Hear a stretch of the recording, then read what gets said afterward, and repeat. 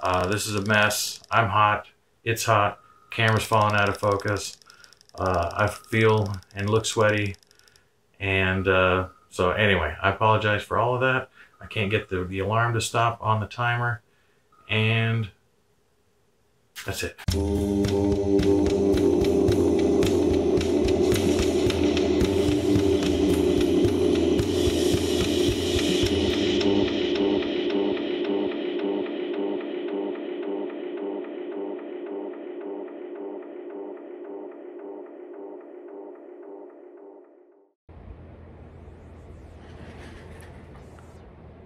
Hello, VC.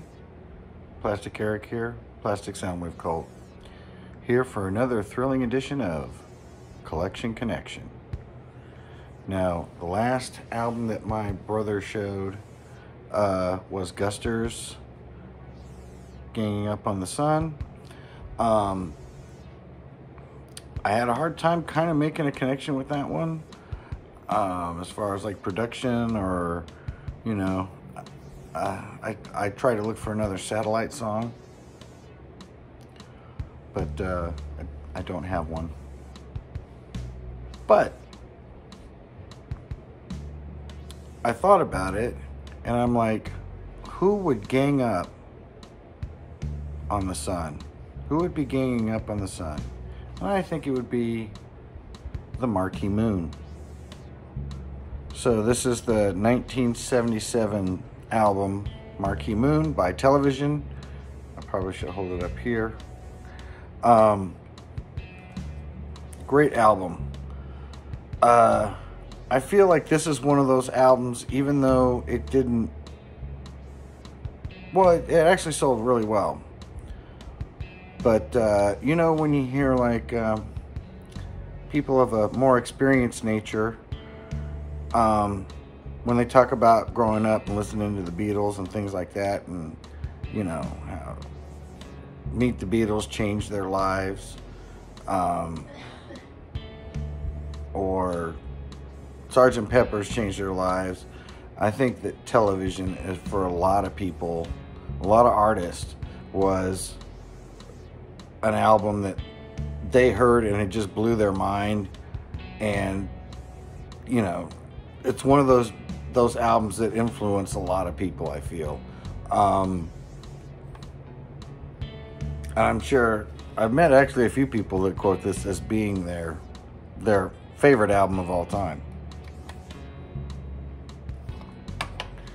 And so that came out in 1977 when you know they didn't know what to call it really because uh, it was right there when they were just starting to call stuff new wave, um, punk was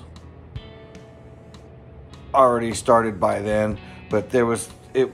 This was called punk, but it really reflected a different nature, and I think it was like what happens to a lot of grunge bands, grunge bands, that got wrapped up into the grunge sound, but really weren't grunge. And I feel that these guys were not necessarily punk, but were definitely new wave. But when that album came out, it it was the the first time that it was, you know, coming out, and because that is their their first album. I don't believe their second album did as well. A lot of people say that one's really good as well, but after that they tend to drop off, uh, or uh, unless they had only two albums. I'm not sure about that now.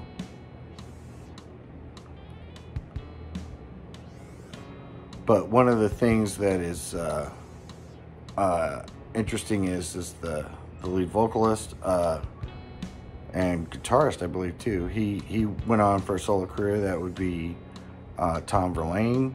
Um, to be honest, I have not heard any of his solo stuff, but uh, you know, I don't know how much he he changed. You know how an artist evolves. I don't know how much he changed beyond uh, what he did for television but uh, definitely this this album here they they hit it out of the park. And so uh, that is my connection for this week. Television's marquee moon. And if you say wait a second is that really a connection? I say it is. And it really is just about having an excuse to show music. So, uh, definitely um, am up and you know not scoring.